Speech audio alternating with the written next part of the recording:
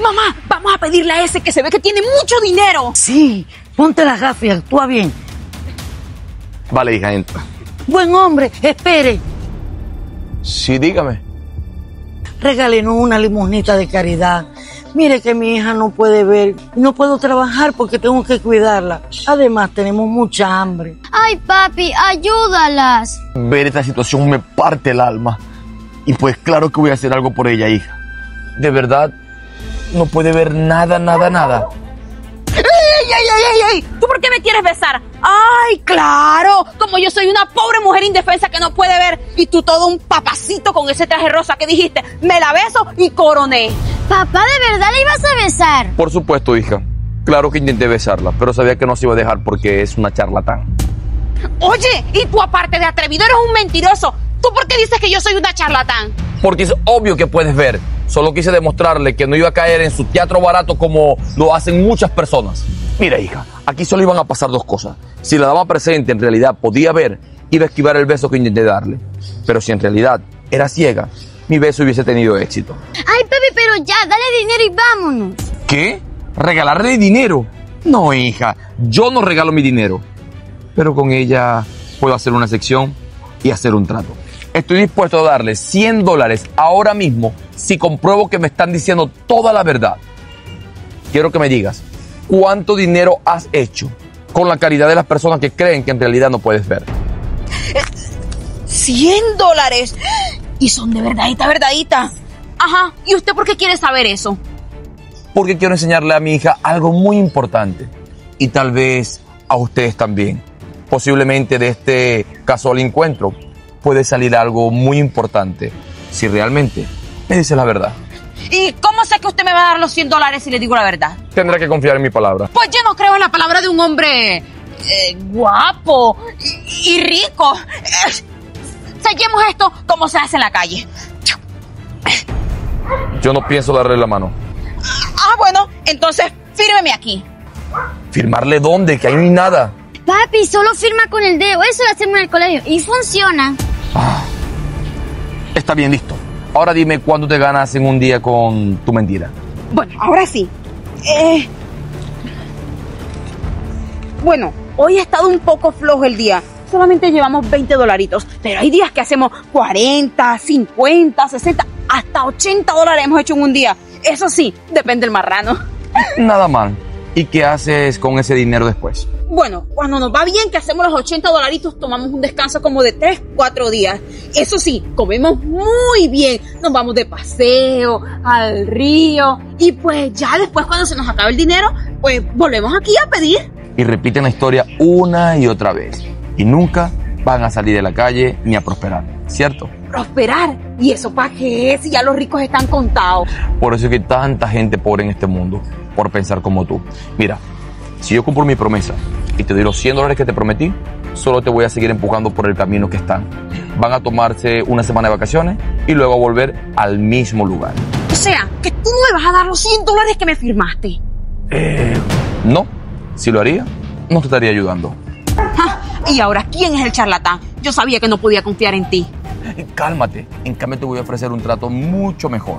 Si me demuestras que tienes la capacidad de duplicar esos 20 dólares, pero sin pedirle ni un peso a una persona más, te voy a dar 500 dólares. Y tienes 24 horas para hacerlo. ¡500 dólares! Y esta vez sí va a ser de verdad. Por supuesto que va a ser verdad. Si duplicas esos 20 dólares sin pedirle nada a nadie, te doy los 500 dólares. Y quiero que sepas que voy a estar muy cerca de ti. Si no crees en mi firma, creerás en esto. Trato hecho. Pero, ¿cómo voy a hacer esto? ¿Cómo voy a duplicar el dinero sin pedirle nada a nadie? Ahí está tu primer trabajo. Pensar. ¿Cómo vas a hacer?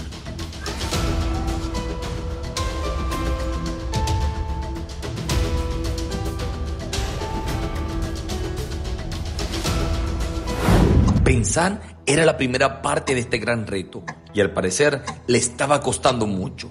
No se les ocurría nada para duplicar el dinero que ya habían ganado sin tener que volver a pedir. El tiempo continuaba su curso y nada llegaba a su mente. Yo a lo lejos solo veía cómo se esforzaban sin tener éxito. En su mente solo existía una forma de conseguir dinero, pidiéndolo. Pero justo cuando pensé que se darían por vencida, pasó. ¡Listo!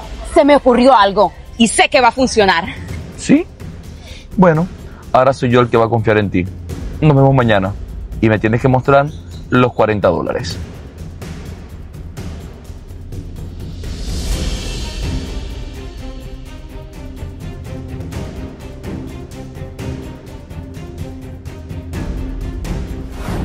De alguna manera se les había ocurrido comprar y vender dulces en aquel party que acostumbraban a estar. Lo que más me sorprendía era con aquella felicidad y esmero que lo hacían.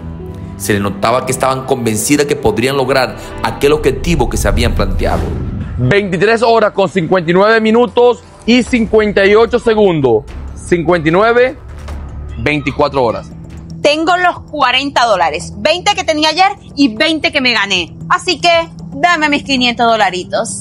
Calma, calma. Primero déjame felicitarte. Veo que lo lograste.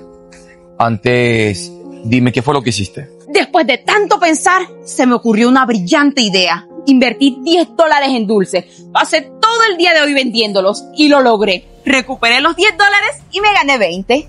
A pesar de todo, eres muy astuta e inteligente. Hoy aprendiste una importante lección y pudiste descifrar una de las principales leyes para convertirte en una persona millonaria. Invertir más y gastar menos. Pero ahora déjame decirte que no voy a darte los 500 dólares. ¿Qué? O sea que yo hice todo esto para nada, para que tú te burlaras de mí. Espérate, nunca me dejas terminar de hablar. No te voy a dar los 500 dólares, porque te voy a dar mil dólares solo para ustedes. Ah, y déjame decirte que lo que hiciste no fue para nada, fue para mucho, porque esto va a definir tu vida a partir de este momento. Mil dólares para nosotras. Primera vez que tenemos tanto dinero en nuestras manos. Sí, todo para ustedes dos. Y si siguen haciendo lo que aprendieron hoy, les va a ir muy bien en la vida. Así que les voy a proponer otro trato.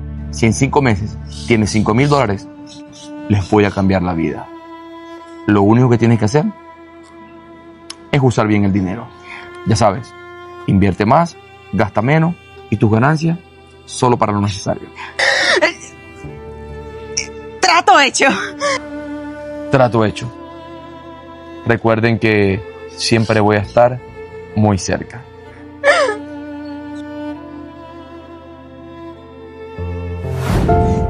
Como lo había prometido, justo a los cinco meses nos volvimos a encontrar. Lo malo es que no consiguieron tener los cinco mil dólares. Para mi sorpresa, lograron hacer un capital de 10 mil dólares. La verdad, estaba muy sorprendido y contento por ellas. Habían entendido el verdadero secreto del éxito económico, gastar menos e invertir más. Las ventas le favorecían mucho y decidieron invertir aquellos mil dólares de muy buena manera. Así que rápidamente les abrí camino en mi empresa en ventas de comercio exterior, una oportunidad que les cambió la vida completamente.